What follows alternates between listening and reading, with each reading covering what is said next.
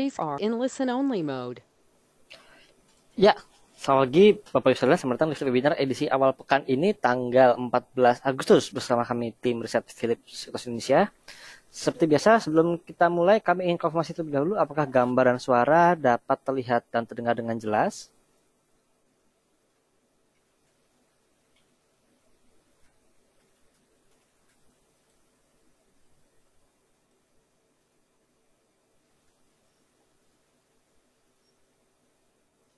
Baik Pak Parito, terima kasih atas konfirmasinya. Kita langsung mulai saja untuk sesi pertama. Ada apa untuk uh, market hari ini? Untuk IHSG sendiri kami memperkirakan uh, ada peluang untuk bergerak bearish ya dengan support di area 6034 hingga resisten di level 6129 diiringi dengan harga uh, komoditi minyaknya kembali naik satu persenan tapi ada nikel turun 0,49 persen.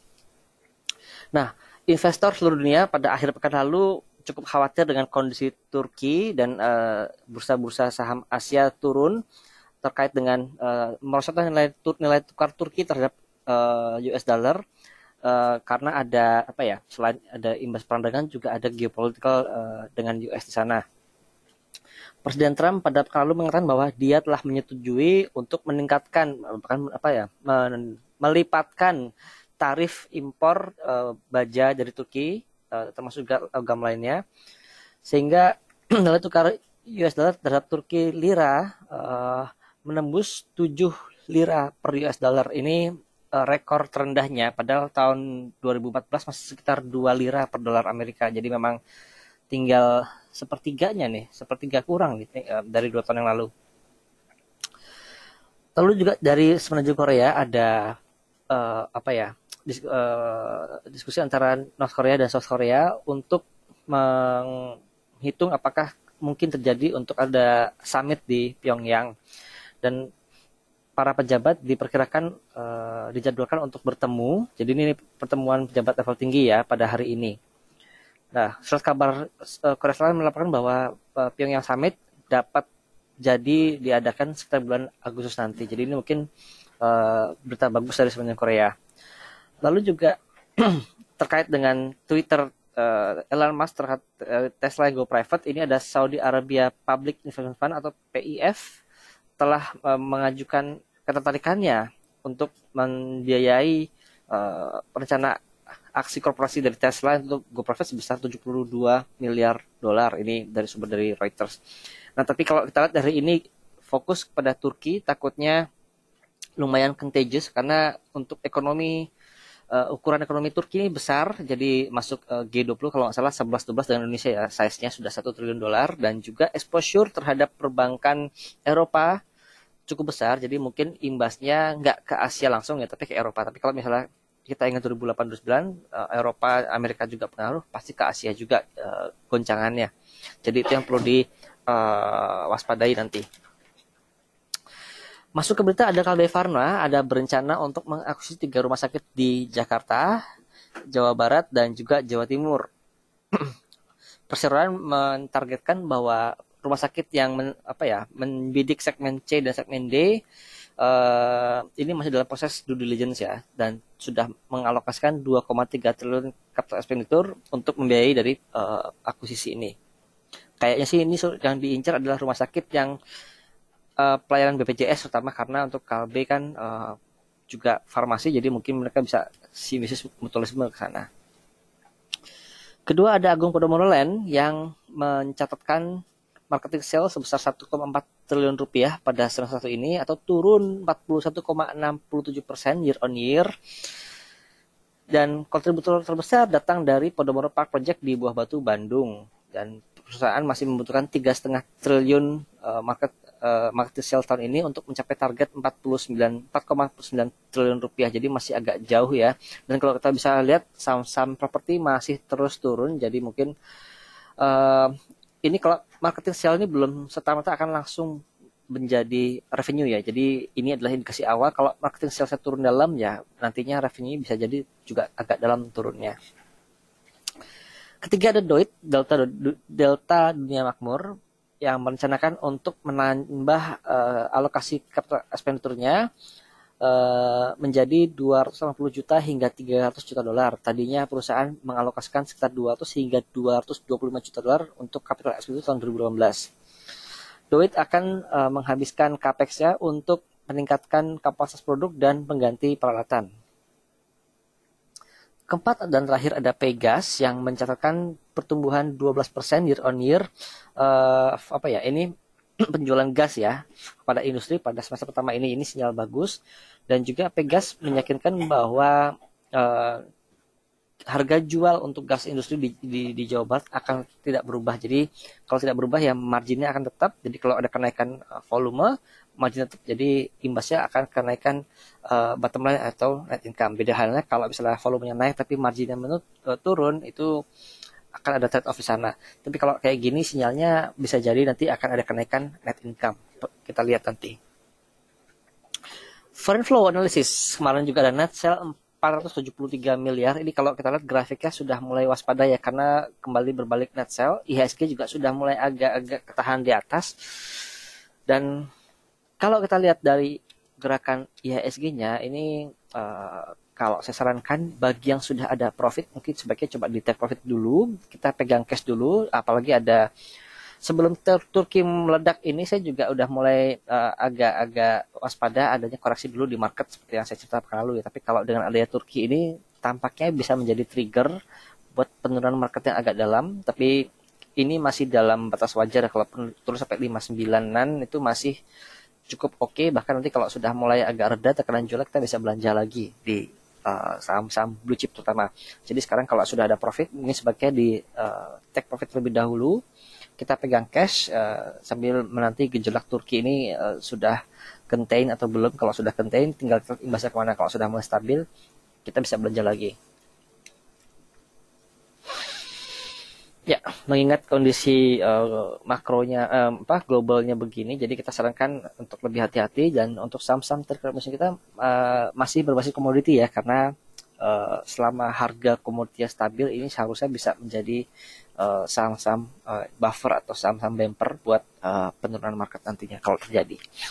Pertama ada Adaro yang dalam tiga hari terakhir ini mengalami koreksi dan menguji MA20 seperti lihat kalau seandainya jebol MA20 sebaiknya buy on weakness ya di 1800 rupiah. Jadi tunggu saja untuk saham Adaro kalau sampai di bawah eh, 1800 boleh kira-kira ambil di sana kedua juga ada ITMG yang kemarin uh, sudah mulai bergerak turun dan mendekati MA20 harinya di sini nih tapi kalau dia jebol lagi MA20 hari sama seperti Adaro sebaiknya kita buy on weakness di kisaran Rp26.000. Ketiga ada Indi, nah ini sudah turun duluan ya indinya ya dalam ya, jadi sudah mendekati band bawah, jadi mungkin bisa mulai coba uh, tampung lagi di kisaran 3.130 rupiah, 3.100 rupiah. Namun waspadai kalau dia turun terus di bawah band bawah, di bawah 3.000 rupiah, kita bisa stop loss uh, di level tersebut. Ya, sekarang tanggal 13 berarti pekan lalu tanggal 6 Agustus. Kita lihat ada apa di Telegram tanggal 6 Agustus.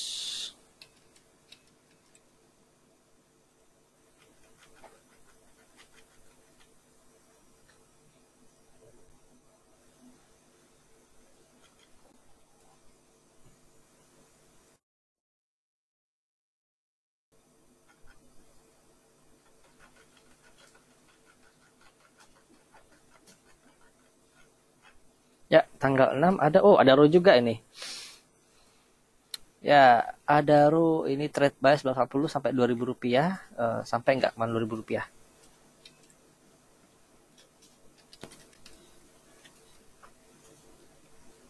sampai tanggal uh, sampai uh, 2000 rupiah jadi kalau yang sudah jual kemarin 2030 selamat ini belum saatnya kita masuk lagi di saham Adaro ya Lalu kedua ada Ramayana, ini bisa buy on weakness di 1290. Kita lihat apakah sampai 1400 lagi awal Ramayananya.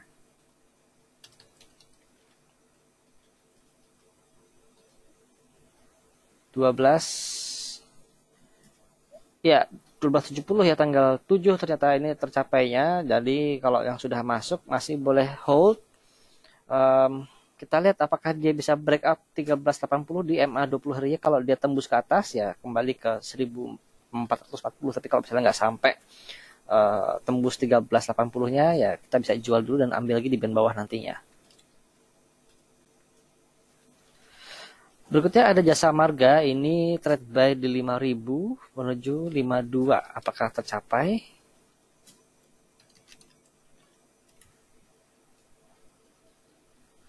Ya, dan ternyata gagal tercapai. Ini juga lihat dari MACD lainnya kembali koreksi.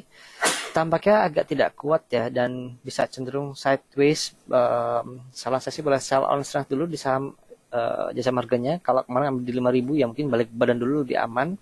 Sambil kita lihat uh, koreksi sampai nanti kalau bisa sudah cukup dalam bisa kita ambil lagi saham jasa marganya. Oke, okay, demikian tanya recommendation untuk sesi Q&A akan nanti dibawakan oleh Kak Zami. Silakan.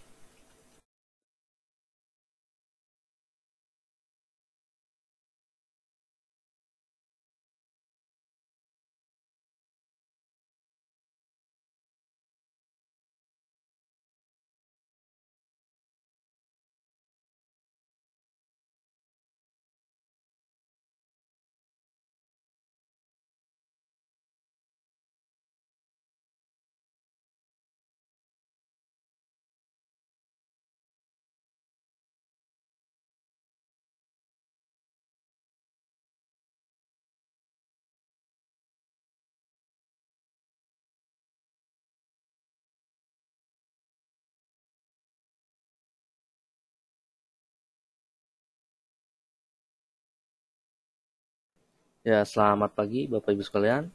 Langsung saja untuk pertanyaan pertama dari Pak Junior ada Tower, HMSP, dan Emir.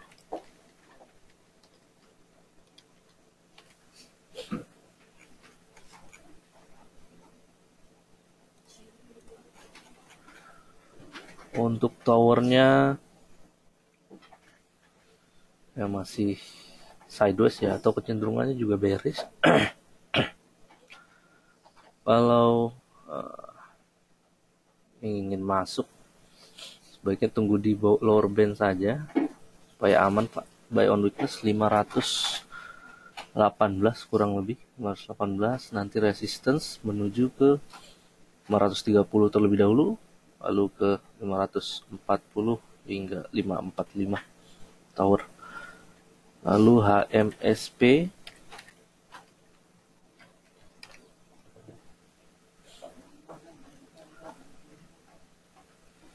HMSP ya masih dalam masih membentuk uh, lower yang lebih tinggi. Jadi sejatinya ya masih bullish walaupun memang perlahan-lahan di hold saja HMSP-nya kalau sudah punya Pak. Kalau kalau sudah punya hold hingga ya setidaknya 3850 terlebih dahulu lalu ke 3925 jika ingin masuk bisa ya, on weakness di 3730 kurang lebih. Hemiurnya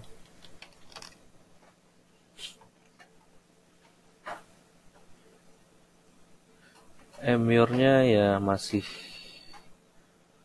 flat flat saja sideways sebenarnya. Di hold saja kalau sudah punya ya tunggu nanti ada kenaikan hingga 3095 kurang lebih di Emir. Lalu Pak Santoso Budiman di NDF Inco Cepin. INDF-nya jika ingin masuk ya buy on weakness saja 6330 hingga 6270 bisa buy on weakness di Indofood lalu ya resistance di harga sekarang kurang lebih 6400 lalu akan menuju ke 6 5 60 kurang lebih Indofoodnya lalu Inco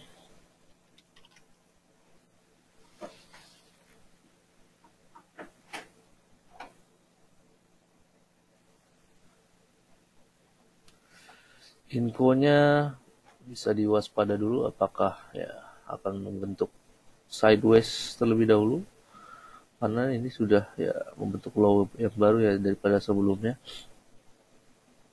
Jadi ya kalau sudah punya bisa keluar dulu nanti coba tunggu 44 4400 kalau dapat 4400 hingga 4350 bisa dijual dulu di Inco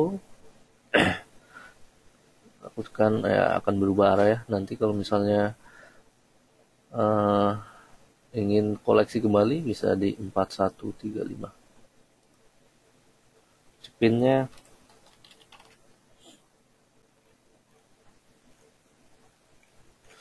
cepin nampaknya sudah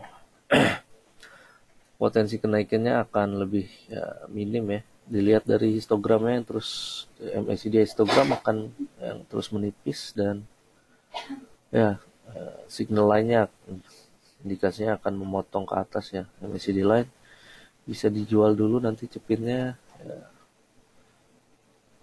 48 60 48 70 bisa dimanfaatkan dulu untuk jualan cepin. Lalu Pak Kuto Sembiring Elsa INTP TMG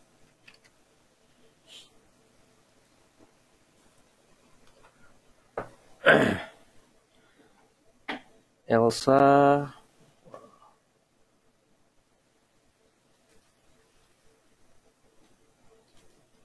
Di hold saja kalau sudah punya ya. Akan menuju ke 387 terlebih dahulu lalu ke ya, 399 atau 400 ya.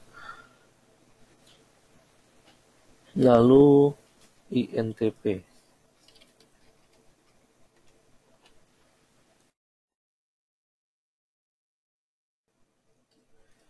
INTP-nya ya nampaknya akan flat-flat dulu. Kan dilihat juga histogramnya mulai menipis ya MACD histogram. Wah, bisa dicoba take profit dulu jika sudah punya ada profitnya 15.000 coba dijual nanti bisa masuk kembali di 14.450 hingga ya, 14.100 kurang lebih. Lalu ITMG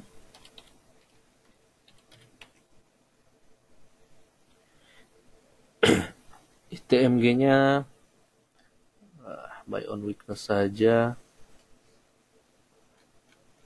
Takut kena akan terus terkoreksi ya? Kalau dilihat ya memang sudah confirm signal lainnya memotong ke atas MACD line dan ITMG ya juga masuk ke technical recommendation kita. Bisa buy on weakness di 26.000 ya 26.000 lalu target price 28.400 di eh, kemudian target price kedua di 30.000 di TMG nya lalu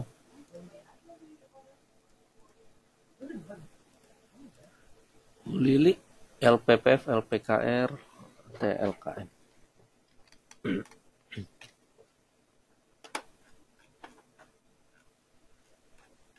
LPPF-nya perlahan-lahan ya mulai menghijau. Memang uh, volumenya juga lumayan banyak ya. Kalau uh, mau masuk boleh saja masuk tapi takutkan akan koreksi melihat ya pasar yang kita prediksikan akan terkoreksi dulu. Amannya ya. Masuk 6250 ya, hingga 6 450 bisa coba di situ nanti uh, resistance ke 7000 ya hingga 7.400 terlebih dahulu. LPKR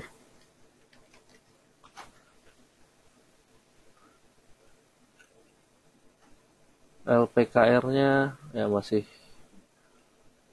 takutkan akan terus memerah LPKR-nya sebaiknya ya di void dulu nanti tunggu ada indikasi pembalikan arah bisa masuk di LPKR dan Telkom. Telkomnya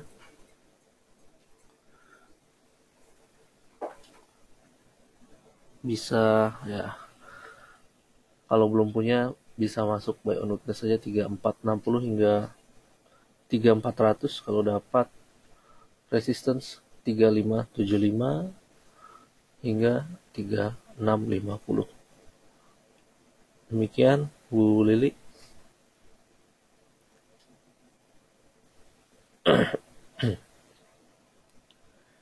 Selanjutnya Excel Bu Vivi Excel KBLI Sochi.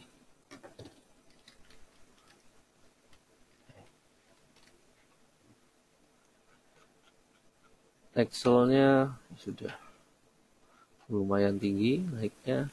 Di hold saja Bu kalau sudah punya selanjutnya. Ya akan mengarah ke 32 30 terlebih dahulu ya 32 30 bisa dijadikan level target price untuk Excel. Lalu KBLI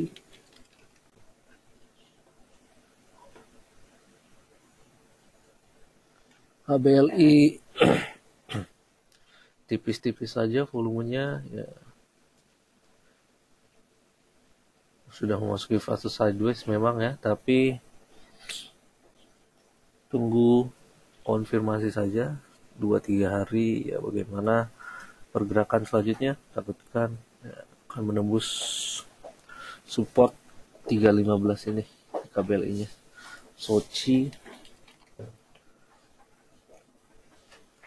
Sochi flat-flat saja volumenya juga ya tipis-tipis saja kalau ingin masuk coba buy on weakness saja 170 nanti ya 175 bisa keluar. Resistance selanjutnya ke 180 selanjutnya Pak Robertus BBC BBRI Pegas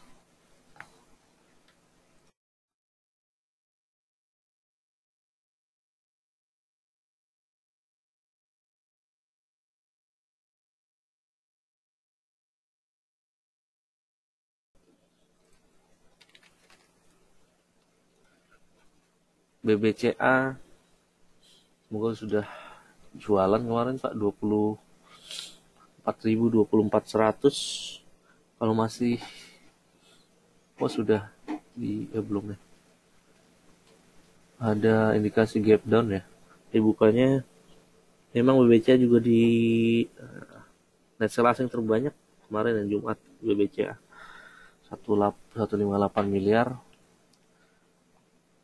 uh, bisa keluar dulu nanti kalau masih ada barang nyangkut 23 uh, 700 bisa keluar dulu. Uh, nanti lihat dulu selanjutnya apakah uh, akan terkoreksi BBCA nya uh, berkaitan juga dengan gejolak uh, Turki gejolak lira juga.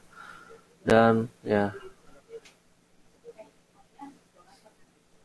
bisa 22 ke 22835 nanti bisa dijadikan uh, entry point kembali.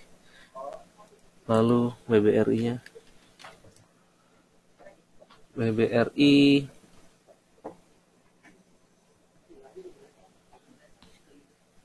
masih oh, ada indikasi gapton juga. Bisa coba dijual nanti pak kalau misalnya masih ada barang 3400 dicoba jual 3400an hingga 3350 dan pegas.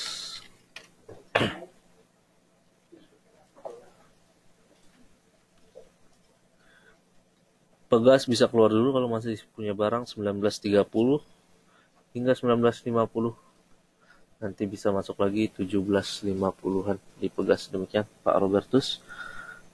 Demas Pak Joy apakah masih bisa entry? Tadi angka berapa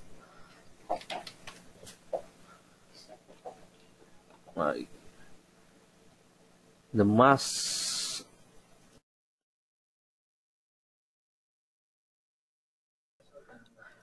Tampaknya tidak ada berita apa-apa ya tentang kenaikan hari Jumat kemarin.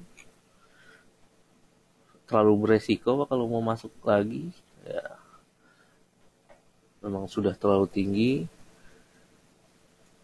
volumenya juga tiba-tiba naik begini yang takutkan ya. Ada indikasi market maker di situ. Kalau ingin masuk spekulasi tergantung resiko uh, profile risk bapak juga. Coba kalau misalnya spek buy saja 145 masuk nanti keluar di 150 hingga ya 155 spek buy saja. Lalu Tins ULTJ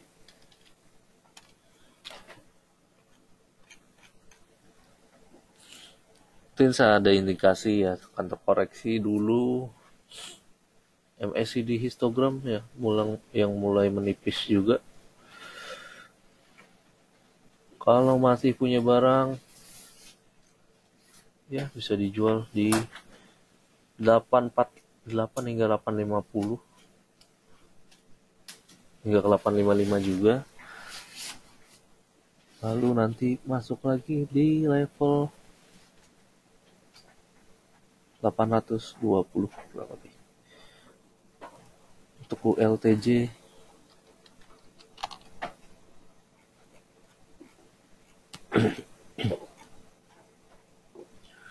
ULTJ juga ya indikasi akan terkoreksi dulu.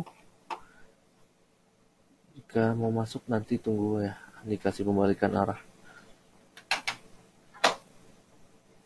Demikian ULTJ nya lalu Bunur KBF Antam TLKM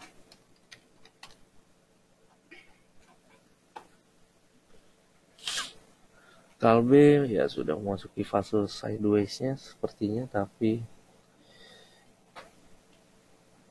memang rentan terhadap uh, pergerakan uh, exchange rate juga. Kalbe karena kan impor bahan bakunya masih dalam dolar seperti itu. Dan masih ya histogramnya masih negatif tapi masih tipis negatifnya ya. Bisa di hold saja tidak jauh-jauh hingga 1305 kurang lebih. Hingga 1315 di Kalbe. Lalu Antam. Ya gap down juga Antamnya. Kalau sudah punya harusnya sudah keluar ya beberapa hari yang lalu tapi kalau masih ada barang coba aja dijual. Waduh terus-terus banting kiri nih. Antamnya dijual sekarang boleh. Nanti bisa masuk lagi di band bawah hingga 850 atau ya hingga 800 entry point kembali di antam. Lalu Telkom. Telkom sudah ya kita lihat. Pasca opening. Ya gap down lagi. 3440 jika mau masuk di Telkom tunggu saja ya kurang lebih. Takutkan membentuk bottom baru lagi 3370 bisa dijadikan level entry point. 3370 hingga 3300 dan perhatikan juga MACD histogram ya sudah mulai positif dan ada indikator lain mendukung bisa masuk nanti di Telkom. Lalu Pak Effendi Wika.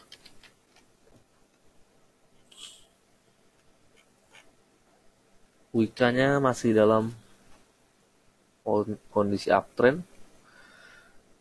Bisa ya di hold saja atau bisa coba jual 16 55 1655 hingga 1675 lalu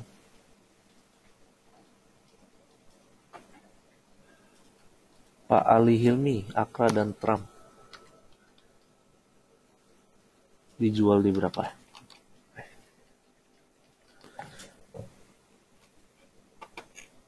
Akranya tergantung average bapak ya kalau misalnya sudah cuan di level segini atau sebaiknya tunggu saja lah 42 70 kurang lebih di ME 9 harinya 4270 bisa dijadikan target price di Akra tapi kalau dijual uh, dan sudah cuan di level sekarang boleh saja Pak. Takutkan ya terkoreksi dulu akranya dari indikasi MACD ya. Yang belum terkonfirmasi tapi bisa-bisa ya ada dead cross di MACD lainnya ya. Lalu Trump.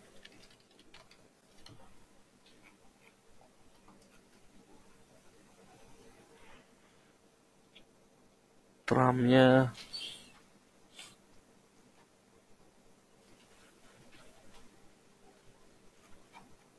sudah membentuk uh, bottom yang baru lagi ya Sub seperti bottom ya, tahun 2000 atau awal tahun 2017 eh 2018 maksudnya. Awal tahun 2018 jadi takutkan akan koreksi terus ya. Uh, tidak ada tanda-tanda kembalikan arah tramnya pak. Jadi bisa di cut loss saja di level sekarang kalau bisa. Atau ya level 225 227 bisa juga di tram. Lalu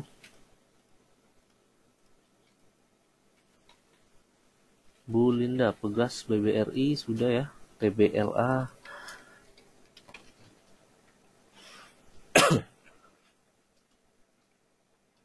TBLA-nya bisa coba jualan dulu di 973 970 kalau dapat ya, di level sekarang boleh juga 960 kalau mau jualan nanti bisa masuk lagi di 880 hingga 840 demikian. Agronya Pak Effendi. Agro gap down ya. Kalau ingin belum punya dan ingin masuk sebaiknya jangan masuk dulu. Bisa tunggu di band bawah entry buat entry point 340 lalu Cleo Pak Sada. My god. Cleo-nya sebaiknya ya jangan masuk dulu ini baru hari ini sudah sangat dalam penurunannya dan ya kalau sudah punya semoga-moga ya sudah keluar kemarin ya. Di Cleo-nya. Lalu ya Imas Pak Sugianto. Imasnya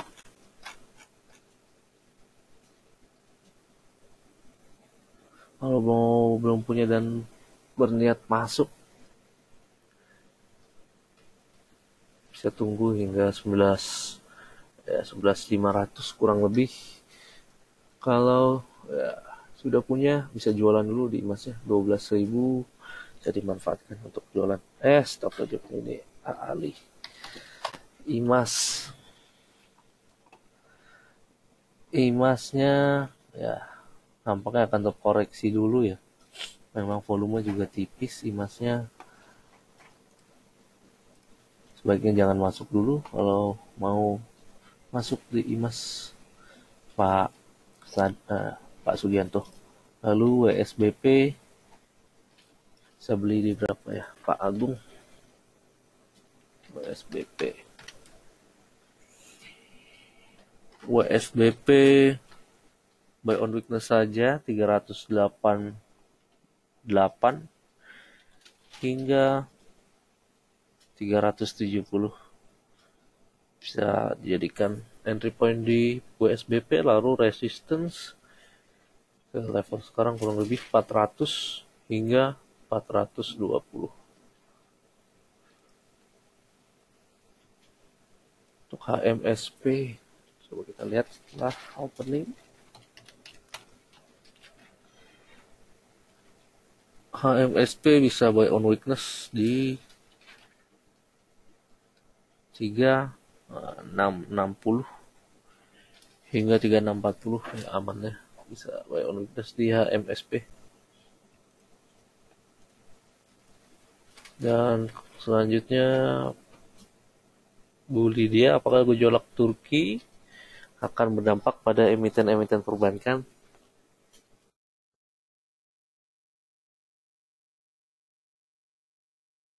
harusnya ya tidak terlalu terekspos ya karena exposure perbankan perbankan kita terhadap Turki memang ya, minim. Jadi pergerakan fundamental maksudnya dalam segi fundamental ya tidak tidak ada exposure namun hanya dalam segi ya sentimen sentimen mata uang ya emerging market mungkin bisa terimbas juga dan juga ya sentimen negatif ke pasar e, secara keseluruhan bisa berimbas. Kalau dari segi fundamentalnya ya tidak terlalu berimbas. Demikian. Nampaknya sudah terjawab semua. Semoga ya Philip webinar pagi ini bermanfaat untuk Bapak Ibu sekalian. Terima kasih atas kehadirannya. Dan akhir kata selamat pagi dan salam cuan.